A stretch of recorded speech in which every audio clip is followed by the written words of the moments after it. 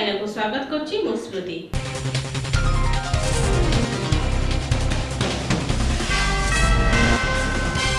ବେଗୁନିଆପଡ଼ା ସମନ୍ୱିତ ଶିଶୁ ବିକାଶ ପ୍ରକଳ୍ପ ତରଫରୁ ଛାତ୍ରୀମାନଙ୍କୁ ସଚେତନତା କରାଇବା ଲକ୍ଷ୍ୟ ନେଇ ପ୍ରକଳ୍ପ ଅଧିକାରୀ ସନ୍ଧ୍ୟାରାଣୀ ପାଣିଗ୍ରାହୀଙ୍କ ନେତୃତ୍ୱରେ ଏକ ଗଣଦୌଡ଼ କାର୍ଯ୍ୟକ୍ରମ ଅନୁଷ୍ଠିତ ହୋଇଯାଇଛି। ସାରା ରାଜ୍ୟରେ ଦିନକୁ ଦିନ ମହିଳାମାନଙ୍କ ପ୍ରତି ଶାରୀରିକ ନିର୍ଯାତନା ଓ କନ୍ୟା ଭ୍ରୂଣ ହତ୍ୟା ବଢ଼ି ଚାଲିଥିବା ବେଳେ ମହିଳାମାନଙ୍କୁ ସଚେତନତା କରାଇବା ଏହାର ମୂଳ ଉଦ୍ଦେଶ୍ୟ। ତେବେ ଅତିଥି ଭାବେ ବିଡିଓ ଅରୁଣ କୁମାର ମଳିକ କୋଦଳା ଅତିରିକ୍ତ ତହସିଲଦାର ଅଶୋକ କୁମାର ତ୍ରିପାଠୀ ବ୍ଲକ ଅଧ୍ୟକ୍ଷା ରାଜଲକ୍ଷ୍ମୀ ଦୋରା ଫାଣ୍ଡି ଅଧିକାରୀ ପ୍ରଦୀପ୍ତ କୁମାର ଦାସ ପ୍ରମୁଖ ଯୋଗଦେଇ ଗଣଦୌଡ଼ର ଶୁଭାରମ୍ଭ କରିଥିଲେ। Janata high school hostel in charge Tarangini Mangaraj ନେତୃତ୍ୱରେ ଛାତ୍ରୀମାନେ ହାତରେ ପ୍ଲାକାର୍ଡ ଧରି ମହିଳାମାନେ ସଚେତନତା ହେବା ନେଇ ବିଭିନ୍ନ ପ୍ରକାର ସ୍ଲୋଗାନ ଦେଇ ଗ୍ରାମ ପରିକ୍ରମା କରିଥିଲେ। ତେବେ ଶେଷରେ ଏକ ବୈଠକ ଅନୁଷ୍ଠିତ ହୋଇ ମହିଳାମାନଙ୍କୁ ଲିଙ୍ଗ ଚୟନ ନିଷେଧ ଆଇନ ବାଲ୍ୟ ବିବାହ ନିରୋଧ ଆଇନ କନ୍ୟା ଭ୍ରୂଣ ବନ୍ଦ କରିବା ଉପରେ ଆଲୋଚନା କରାଯାଇଥିଲା। ଏଥିରେ ଆଇସିଡିଏସ୍ ସୁପରଭାଇଜର ଓ ବହୁ ସମାଜସେବୀ ଯୋଗ ଦେଇଥିଲେ। କୋଦଳରୁ ସୂର୍ଯ୍ୟଙ୍କ report star Odisha news Kendrapara ଜିଲ୍ଲା ମହାକାଳପଡ଼ା ବ୍ଲକ ଅନ୍ତର୍ଗତ ବଡ଼ିହି ପଞ୍ଚାୟତର କାକଡ଼ପୁର ଗ୍ରାମରେ ଆଦିବ ଅନାଦି କାଳରୁ ଶ୍ରୀ ଜଗନ୍ନାଥଙ୍କ ମନ୍ଦିରରେ ମହାପ୍ରଭୁ ଶ୍ରୀ ଜଗନ୍ନାଥ ପୂଜା ପାଇ ଆସୁଥିବା ବେଳେ ଏହି ଜଗନ୍ନାଥ ମନ୍ଦିରର ବିଶେଷତ୍ୱ ହେଉଛି ଯେ ଷଣ୍ଡ ରାଜଙ୍କ ରାଜୁତି ସମୟରେ ଜଗନ୍ନାଥ ମନ୍ଦିର ଧୂଳିଆ ଘର ଓ କାନ୍ଥ ଛପର ଘରେ ପ୍ରତିଷ୍ଠା ହୋଇଥିଲା ବୋଲି ଗ୍ରାମବାସୀମାନେ ମତ ପ୍ରକାଶ କରିଛନ୍ତି। ଜଗନ୍ନାଥ ମନ୍ଦିର ବଡ଼ କିମ୍ବଦନ୍ତୀ ହେଉଛି ଜଗନ୍ନାଥ ନିଜେ ରଥ କିଣି ଚମ୍ପାଗଡ଼ରୁ ପଳେଇ ଆସିଥିଲେ। ଚମ୍ପାଗଡ଼ ପଳେଇ ଆସିଲା ପରେ ଏଠି ସ୍ଥାପନ କରାଯାଏନି ନିଜେ ଠାକୁର ଆସିକି ରଥରେ ସ୍ୱପ୍ନଘାତ କଲେ। ରଥରୁ ବ୍ରାହ୍ମଣ ଆସିକି ଏଠି ଗୋଟେ ଘର ତିଆରି ହେଲା। ଘର ତିଆରି ହେବା ପରେ ଠାକୁର ଚାଳ ଘରେ ରହିଲେ। ତାପରେ ପର୍ଯ୍ୟାୟକ୍ରମେ ଏଠି ମନ୍ଦିର ତିଆରି ହେଲା। ପ୍ରଥମେ ଆମର ଏଠି ସବୁ ଜାଗାରେ ଆମର ଟଣାଯାଏ ଦୌଡ଼ିରେ ଏଠି କିନ୍ତୁ ଆମର ଟ୍ରେନ୍ରେ ଟଣାଯାଏ। ଟ୍ରେନ୍ରେ ଗୋଟେ କିମ୍ବଦନ୍ତୀ ଅଛି। ଏଇ ନଦୀରେ ଠାକୁରଙ୍କ ଆଗରେ ଗୋଟେ ନଦୀ ଯାଇଛି। ନଦୀରେ ଗୋଟେ ବୋଟ୍ ଲାଗିଗଲା। ଲାଗିଲା ପରେ ବୋଟ୍ ଛାଡ଼ିଗଲାନି। ଛାଡ଼ିଲା ପରେ ସେ ବୋଟ୍ ମାଲିକ ଏଠି ଠାକୁରଙ୍କ କତିରେ ଆସିକିରି ଗୁହାରି କଲା। ଯେ ପ୍ରଭୁ ମୋର ଡଙ୍ଗା ଟିକେ ଛାଡ଼ିଗଲେ। ମୁଁ ଚେନ୍ଟି ଏଠି ଦେଇ ଦେଇଯିବି। ଚେନ୍ଟି ଦେଇ ଦେଇଗଲା ସେଇ କାଳରୁ ରଥ ଟଣା ଯାଉଛି ଚେନ୍ରେ। କହିବେ ଆପଣଙ୍କ ଠାକୁର ବି ଟ୍ରେନ୍ରେ ବନ୍ଧା ହେଇଛନ୍ତି। ହଁ ଠାକୁର ଚେନ୍ ବନ୍ଧା ହେଇଛନ୍ତି ଚେନ୍ ବନ୍ଧା ହେବାର କାରଣ ରଥ କିଣି ଠାକୁର ପଳେଇ ଆସିଲେ ଆମର ପୂର୍ବପୁରୁଷଙ୍କର କଥା ଅନୁସାରେ ଯଦି ରଥ ଠାକୁର ପଳେଇ ଆସିଲେ ଏଠୁ କେବେ ଠାକୁର ପଳେଇଯିବେ ସେଇପାଇଁ ଠାକୁର ଚେନ୍ରେ ବନ୍ଧା ହେଇଛି ରଥଯାତ୍ରା ସମୟରେ ଠାକୁର ଚେନ୍ରେ ଖୋଲା ଯାଉଛନ୍ତି। ଚେନ୍ ଖୋଲା ପରେ ଯେଉଁ ନଅ ଦିନ ପୁଣି ଠାକୁର ଫେରିବା ପର୍ଯ୍ୟନ୍ତ ଆଉ ଚେନ୍ରେ ବନ୍ଧା ଯାଉନାହାନ୍ତି ସେଇ ନଅ ଦିନ ଖୋଲା ରହୁଛି। ସିଂହାସନକୁ ଆସିଲା ପରେ ଟ୍ରେନ୍ରେ ବନ୍ଧା ସିଂହାସନ ଆସିଲା ପରେ ପୁଣି ଚେନ୍ରେ ବନ୍ଧା ଯାଉଛି। ମନ୍ଦିର ଇଏ ହେଉଛି ଯେଉଁ ଜଗନ୍ନାଥ ମନ୍ଦିର ଇଏ ହେଉଛି ଜଗନ୍ନାଥଙ୍କର ଦ୍ୱିତୀୟ ମନ୍ଦିର। ପାର୍ଶ୍ୱ ମନ୍ଦିର ନଥିଲା ପାର୍ଶ୍ୱ ମନ୍ଦିର ଦୁଇ ହଜାର ଅଠରରେ ନିର୍ମିତ କରାହେଇଛି ପାଞ୍ଚଟି ପାର୍ଶ୍ୱ ମନ୍ଦିର। ତ ଦୁଇଶହ ବର୍ଷ ତଳର କଥା ମୁଁ କହୁଛି ଜେଜ କହିବା କଥା ସେତେବେଳେ ଚାଳ ଘରେ ଥିଲେ। ଚାଳ ଘର ତାପରେ ମନ୍ଦିର କରାହେଲା।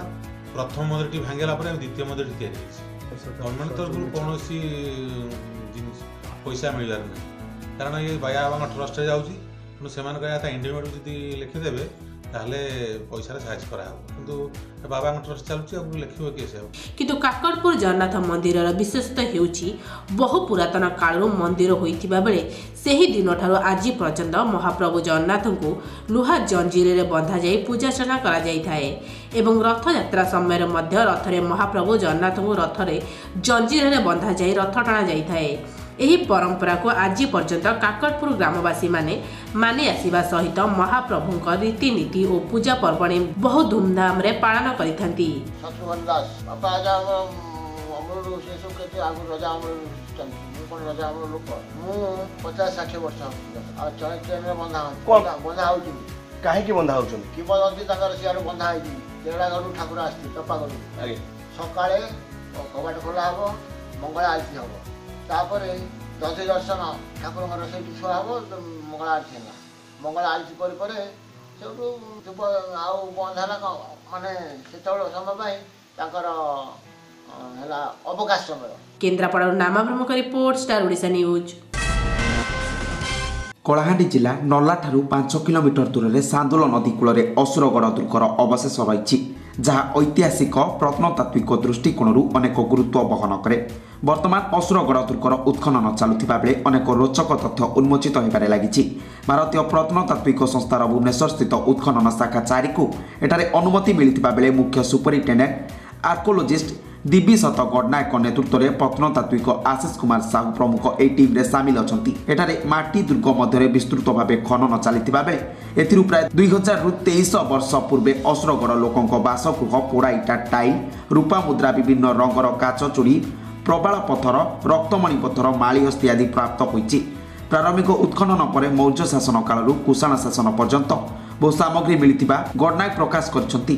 ସେତେବେଳର ଲୋକେ ରୂପା ମୁଦ୍ରା ବ୍ୟବହାର କରୁଥିବା ଓ ସମୁଦ୍ର ପଥରେ ବ୍ୟବସାୟ କରି ବାହ୍ୟ ଶତ୍ରୁଙ୍କ ଆକ୍ରମଣରୁ ରାଜ୍ୟକୁ ସୁରକ୍ଷା ଦେବା ପାଇଁ ଗଡ଼ଖାଇ ଓ ମାଟିର ଉଚ୍ଚ ପ୍ରାଚୀର ନିର୍ମାଣ କରିଥିଲେ ଯାହା ଏବେ ବି ଦେଖିବାକୁ ମିଳୁଛି। ଓଡ଼ିଶାର ସର୍ବପୁରାତନ ଶକ୍ତିପୀଠ ସମ୍ବେଶ୍ୱରୀ ଦେବୀଙ୍କ ଇଟା ନିର୍ମିତ ଗୋଲାକାର ମନ୍ଦିର ଏହି ସ୍ଥାନରେ ଉଣେଇଶହ ତେସ୍ତରୀ ମସିହାରେ ଖନନ ସମୟରେ ଲୋକଲୋଚନକୁ ଆସିଛି। ବହି ପ୍ରାଚୀର ଉତ୍ତମ ପଶ୍ଚିମ ଦିଗରେ ଥିବା ଭୀମକେଲା ଗ୍ରାମର ବିଷ୍ଣୁ ପ୍ରତିମା ଓ ନିକଟସ୍ଥ ସାନ୍ଦୁଳ ନଦୀ ଅବବାହିକାରୁ ମିଳିଥିବା ଦୁଇ ଗୋଟି ପ୍ରସ୍ତର ପ୍ରତିମାରୁ ଲୋକକଳାତ୍ମକ ଦକ୍ଷତା ଥିବା ଜଣାପଡ଼ୁଛି।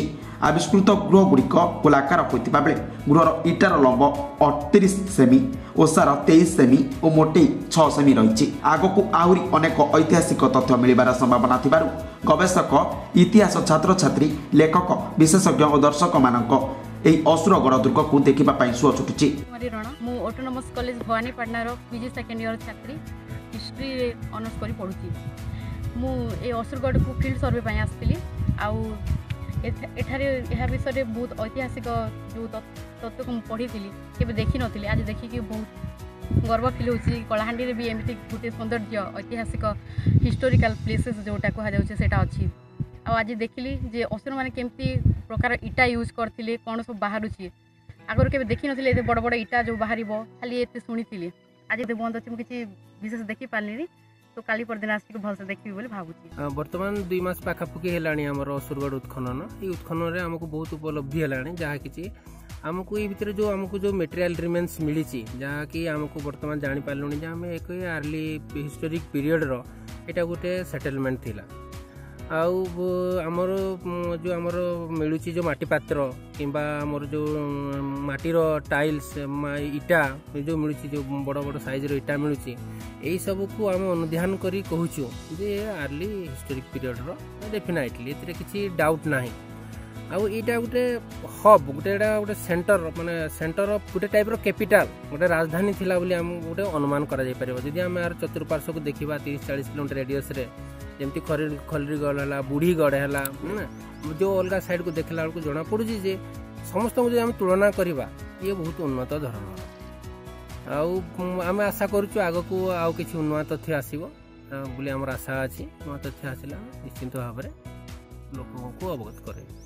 বর্তমান ভিতরে দেখা গেলে সেই মাটি পাত্র মাটি টাইলস টেরাকো টাইলস আউ বিভিন্ন প্রকার লোহার হাত হতিয়ার মিলিছি আউটা আমি টোকেন্স কৌছু বা কয়েন কৌছু সেটা আমার সিলভর আউ বর্তমান রোটা কি বিশেষ করে কপর আমাকে কয়েন্স মিলুছি হ্যাঁ যে বিভিন্ন প্রকার সিম্বল অছি চিত্র অছি সেটা জনা পড়ছে পুরোনা করলামুন্ডারু নরতমক report star Odisha news